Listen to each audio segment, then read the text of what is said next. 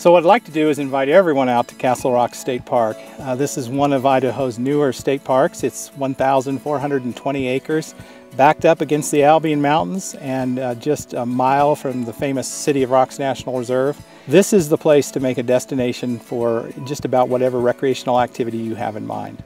The archery range we've got here with the, with the life-size targets of wildlife is really a first for us. And this is one of the most exciting that we've developed recently. Well, this guy, he's our moose.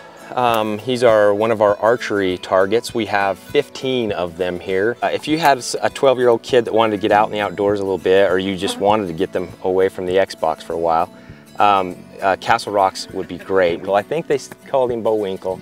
I think. the trail system is, is about a mile long. Uh, there is a cutoff halfway. If you want to shoot half of the course, you can do that. Every uh, target is pinned so that you can shoot it at your skill level. To anybody who hasn't been to Castle Rocks State Park, they may have heard about it. It is far prettier and just much more wonderful place to visit than you're thinking. You will not be disappointed. Or it's a great place to come because it's easy to get to. You don't have to invest a lot of time and energy in finding it. And also it's really good access for families, especially with young children. You see the shoreline is shallow and easy to fish from and there's not a lot of obstacles and you don't need a boat or any other fancy equipment. Just show up with your fishing rod, some worms and have a good day.